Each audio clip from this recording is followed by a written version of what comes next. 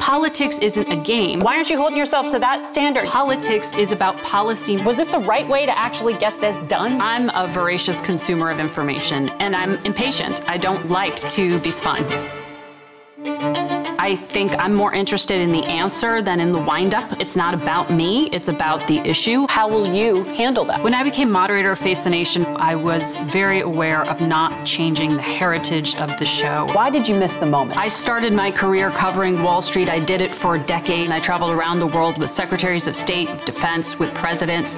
I am a journalist, mother, the wife of a Marine, and frankly, someone who wants answers. So, do you think there is a communication problem here? To be moderator of Face the Nation is not an anchor, it's not an actress. You are up here to moderate a conversation. That means bringing the most powerful stakeholders to the table to become better informed.